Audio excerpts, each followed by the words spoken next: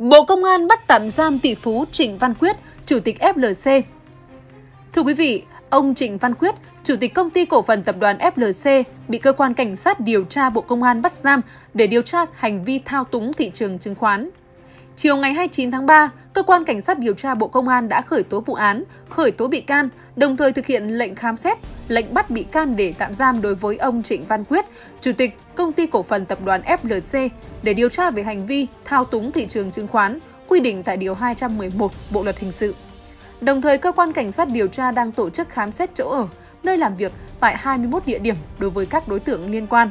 Cơ quan cảnh sát điều tra Bộ Công an cho biết đã tiến hành điều tra xác minh đối với ông Trịnh Văn Quyết, các cá nhân thuộc công ty cổ phần tập đoàn FLC, công ty cổ phần chứng khoán BOS và các công ty có liên quan về hành vi thao túng thị trường chứng khoán, che giấu thông tin trong hoạt động chứng khoán xảy ra ngày 10 tháng 1 năm 2022, gây thiệt hại nghiêm trọng cho nhà đầu tư, ảnh hưởng đến hoạt động của thị trường chứng khoán Việt Nam.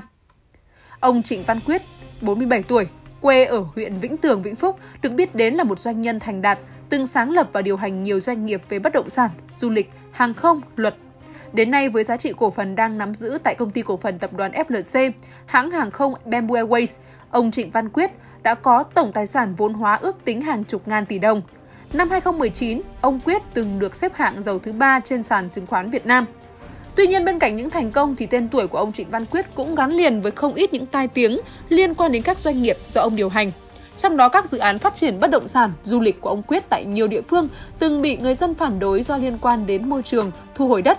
Đáng chú ý, ông Quyết là người nhận được nhiều chỉ trích từ các nhà đầu tư chứng khoán bởi các cổ phiếu trong họ FLC gặp nhiều trồi sụt bất thường. Hồi trung tuần tháng 1, Ủy ban Chứng khoán Nhà nước đã ban hành quyết định về việc xử phạt vi phạm hành chính trong lĩnh vực chứng khoán và thị trường chứng khoán đối với ông Trịnh Văn Quyết. Theo đó, Chủ tịch Công ty Cổ phần Tập đoàn FLC Trịnh Văn Quyết bị phạt 1,5 tỷ đồng do không báo cáo về việc dự kiến giao dịch bán cổ phiếu FLC từ ngày 10 tháng 1. Theo ghi nhận của Ủy ban Chứng khoán Nhà nước, số cổ phiếu đã được giao dịch không báo cáo của ông Quyết là 74,8 triệu đơn vị. Bên cạnh đó, ông Trịnh Văn Quyết còn bị áp dụng hình thức xử phạt bổ sung là đình chỉ hoạt động giao dịch chứng khoán 5 tháng, quy định tại Nghị định số 156-2020 NDCP về xử phạt vi phạm hành chính trong lĩnh vực chứng khoán và thị trường chứng khoán. Gần đây nhất, ngày 25 tháng 3, Ủy ban Chứng khoán Nhà nước đã ban hành quyết định số 164 QDXPHC về việc xử phạt vi phạm hành chính trong lĩnh vực chứng khoán và thị trường chứng khoán đối với công ty cổ phần tập đoàn FLC của ông Trịnh Văn Quyết với số tiền gần 500 triệu đồng do liên quan đến các hành vi không công bố đối với thông tin phải công bố theo quy định pháp luật. Công ty không công bố thông tin trên hệ thống công bố thông tin của Ủy ban Chứng khoán Nhà nước và trang thông tin điện tử của Sở giao dịch chứng khoán Thành phố Hồ Chí Minh đang khám xét trụ sở FLC và biệt thự của tỷ phú Trịnh Văn Quyết. Thưa quý vị, Tối ngày 29 tháng 3, lực lượng công an, kiểm sát viên vẫn đang tập trung khám xét nhà riêng của bị can Trịnh Văn Quyết, Chủ tịch Tập đoàn FLC. Chiều ngày 29 tháng 3, Cơ quan Cảnh sát điều tra Bộ Công an công bố đang tiến hành điều tra đối với tỷ phú Trịnh Văn Quyết, Chủ tịch Hội đồng Quản trị Công ty Cổ phần Tập đoàn FLC, các cá nhân thuộc Tập đoàn FLC, Công ty Cổ phần Chứng khoán BOS và các công ty có liên quan về hành vi thao túng thị trường chứng khoán, che giấu thông tin trong hoạt động chứng khoán xảy ra ngày 10 tháng 1, gây thiệt hại nghiêm trọng cho nhà đầu tư, ảnh hưởng đến hoạt động của thị trường chứng khoán Việt Nam. Theo cơ quan công an, hành vi của bị can Trịnh Văn Quyết đã đủ yếu tố cấu thành tội thao túng thị trường chứng khoán, quy định tại Điều 211 Bộ Luật Hình sự. Đồng thời, cơ quan cảnh sát điều tra Bộ Công an đã ban hành quyết định khởi tố vụ án hình sự, khởi tố bị can, bắt tạm giam đối với bị can Trịnh Văn Quyết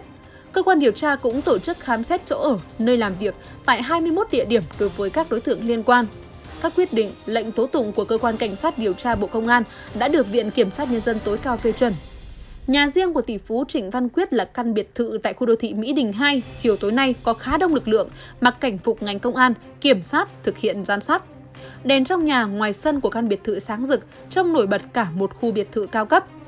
Khoảng 18 giờ 45 phút, hai xe ô tô của lực lượng công an rời đi mang theo nhiều hồ sơ tài liệu. Ngay sau đó thì một xe ô tô mang biển kiểm soát màu xanh đến. Từ trên xe bước xuống có một số cán bộ công an, kiểm sát viên tiếp tục vào khám xét nhà riêng. Rất đông phóng viên cùng có mặt trước cửa nhà bị can Trịnh Văn Quyết, nhưng một số người mặc áo bảo vệ có in logo tập đoàn FLC đã chặn hai đầu đường, ngăn cản phóng viên tác nghiệp. Theo ghi nhận, căn biệt thự của chủ tịch tập đoàn FLC có diện tích rộng, cao khác biệt so với khu vực xung quanh. Nhiều người dân ở khu vực này cho biết, ngày bình thường trước cửa tòa nhà cũng có chốt bảo vệ túc trực 24 trên 24. Cũng trong chiều tối nay, báo chí đã ghi nhận tại 265 cầu giấy, quận Cầu Giấy, thành phố Hà Nội, nơi đặt trụ sở chính của tập đoàn FLC, cũng xuất hiện nhiều xe ô tô mang biển xanh ra vào. Lúc 18 giờ 45 phút, lực lượng công an trấn giữ nhiều điểm trong và ngoài sảnh thuộc tòa nhà. Bất cứ ai ra vào đều bị kiểm soát kỹ lưỡng. Bên ngoài phía tòa nhà 265 cầu giấy có khá đông người dân hiếu kỳ đứng xem. Một cán bộ thực thi nhiệm vụ cho biết C01 đã tiến hành khám xét tại đây từ lúc 15 giờ cùng ngày.